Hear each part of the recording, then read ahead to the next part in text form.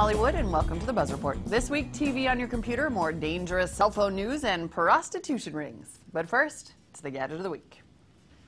The Gadget of the Week is the Axiotron Mod Book. Now, this has been the talk of the town lately. Axiotron took this standard MacBook and they reworked it into a tablet. Even bigger news Apple is not planning to sue them. They're totally allowing this.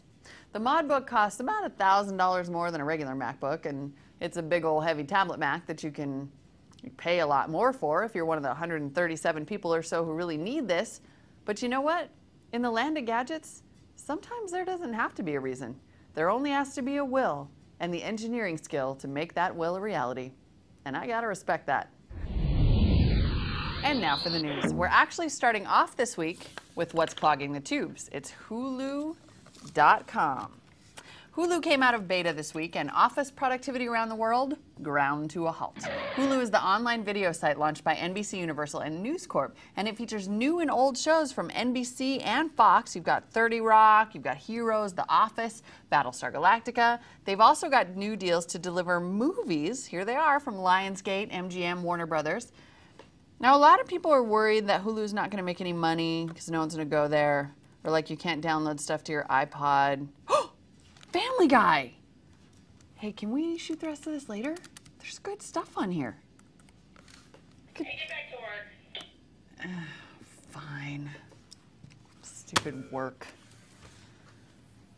Anyway.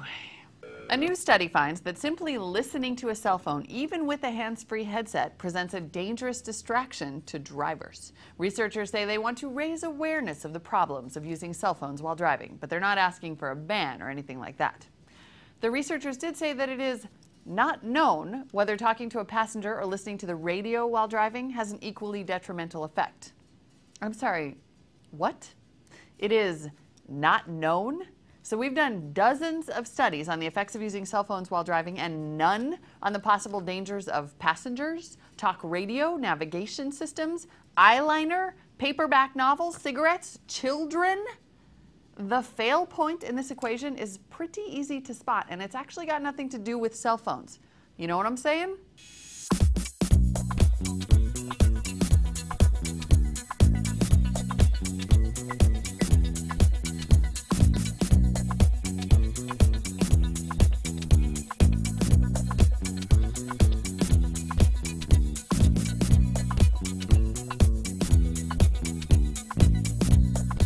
This week, as you know, New York Governor Eliot Spitzer, champion of the little people, was busted for frequenting a prostitution ring. My colleague over at ZDNet, Larry Dignan, wrote an interesting piece about how sophisticated IT networks helped bring Spitzer down. Basically, it goes like this. The prostitution ring was already under investigation due to some shady financial business. On top of that, federal officials had been monitoring suspicious money transfers made by Spitzer, which eventually led them to a company called QAT, which was the alias for the prostitution ring. Since they were both under investigation, everything fell into place. See, Spitzer's transactions looked like they were kept below $10,000 to avoid federal reporting rules, but that can actually help tip off the FBI if you have multiple transactions that are just under $10,000. Basically, when banks record any of these transactions, they end up in a giant, super powerful federal database that crunches the numbers and looks for irregularities. See, and this is what sucks about being a technology reporter covering a big sex scandal. Wolf Blitzer gets to talk about hookers and services, and all I get to talk about is databases. I'm Molly Wood, and this has been the Buzz Report. Thanks for watching.